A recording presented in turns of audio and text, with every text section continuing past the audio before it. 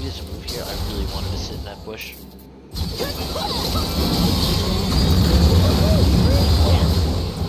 have a lot of secret HP.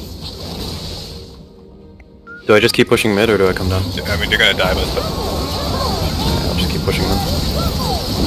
Yeah, they're kind of doing it up a little.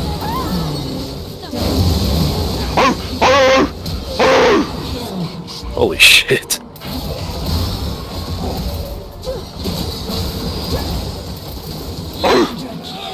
No way. Are you kidding me? Let's just go for a dragon really quick. How, how did that happen? They just dove. I, I don't They know. dove and it was dove awful. Nunu had